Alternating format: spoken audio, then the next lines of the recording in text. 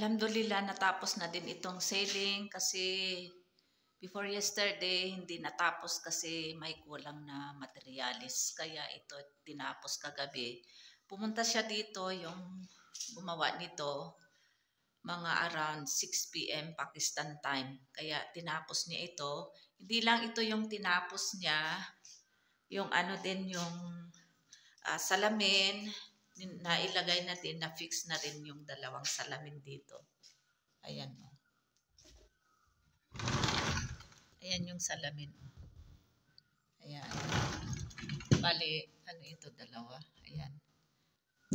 So, ayan, na-fix na yung salamin. And then, uh, ano pa yung ginawa niya kagabi?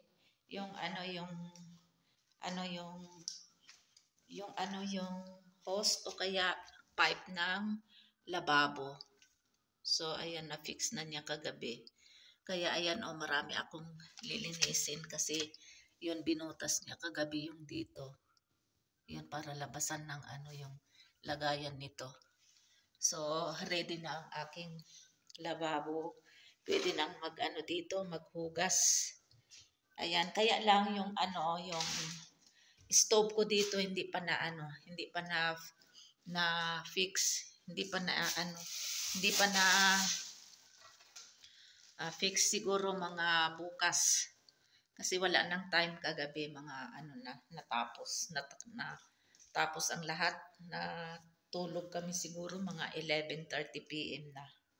So, kaya bukas na lang ito i-fix yung ano ko dito, stove at saka yung exhaust fan.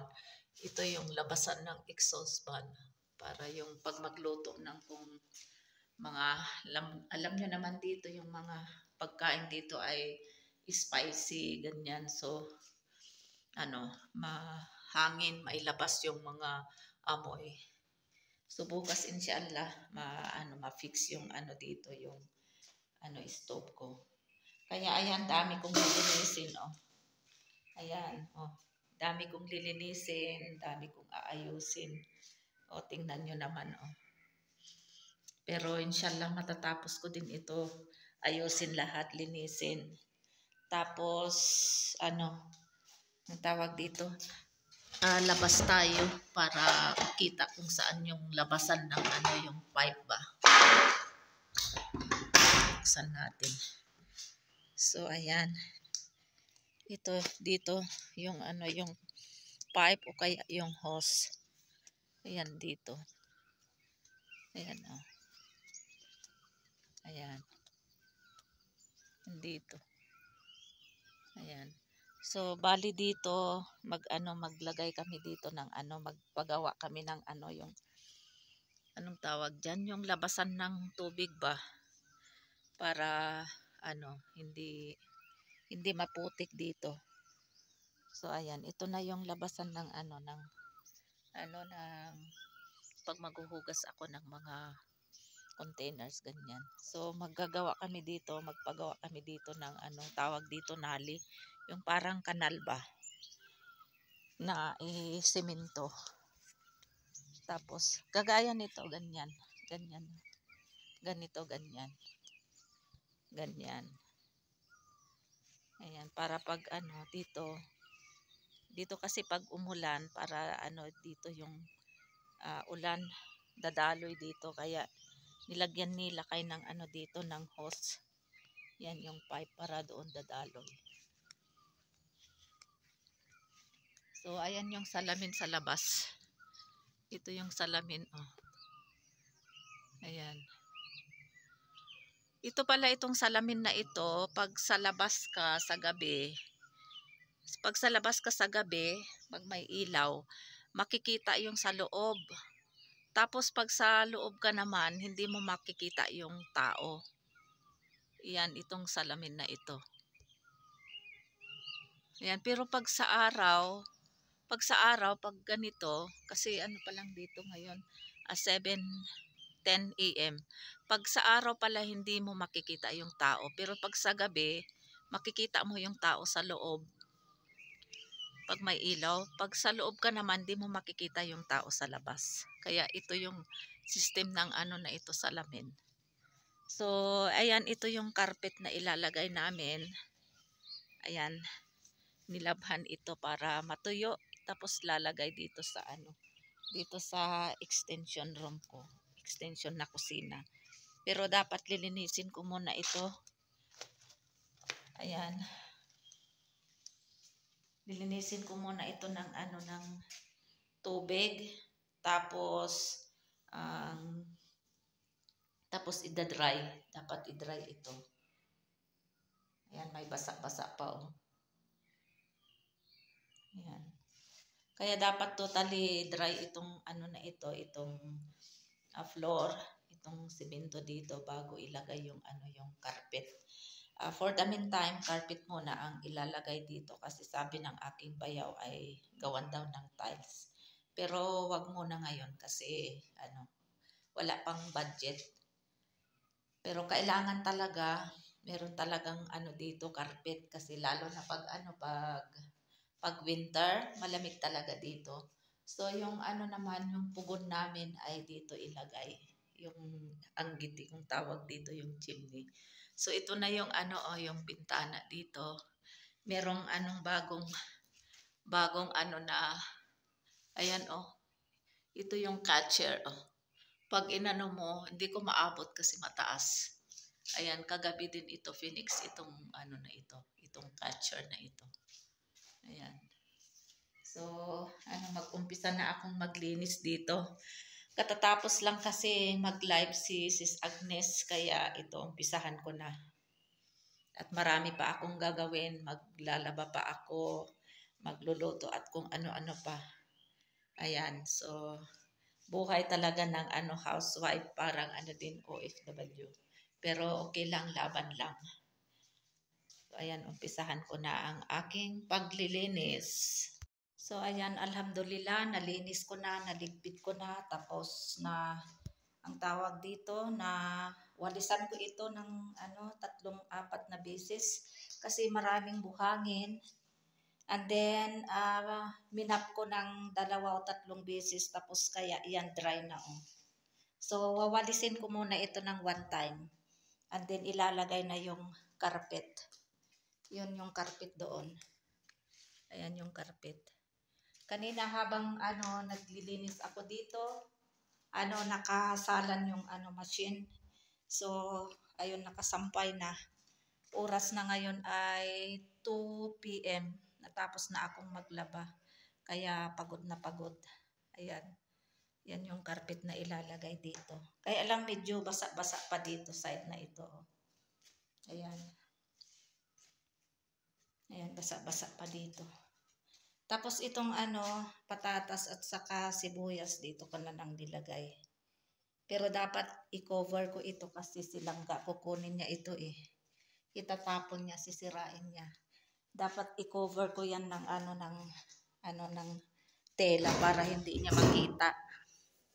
Kasi sisirain niya talaga yan, itatapon nilangga. Kaya ang gawin dyan dito ay ano, ganyanin ko. So, ayan. Ayan. Tapos ano pala, ito meron pang kulang dito oh. Ayan ito. Kasi ito, bali pinagpag ito eh. Noong ano, uh, July 7, nung may kasal doon sa baba, ano, yung dalawang mason, inano ito, uh, tinapos. Ayan oh, yan.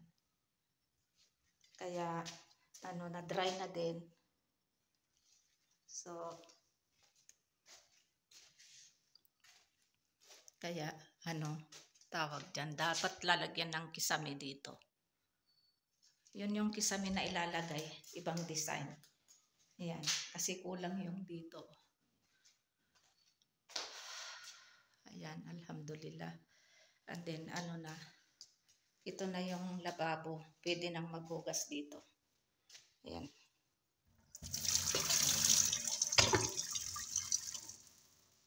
Tapos ito naman kung matapos mag ano maghugas ng glass o kaya cups ilalagay dito tapos ano yung mga plates dito ilagay pwede din diretso hugas dito ilagay yan kung saka yung kung ano-ano dito. Tapos pag ano, matulo yung tubig ay itatapon lang.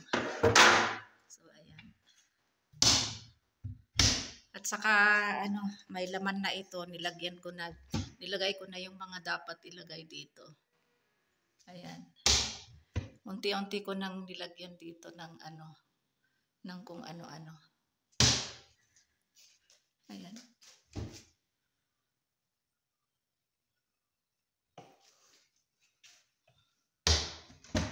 Ayan. Kaya ano naka save na yung aking mga kagamitan sa kusina. Ayan.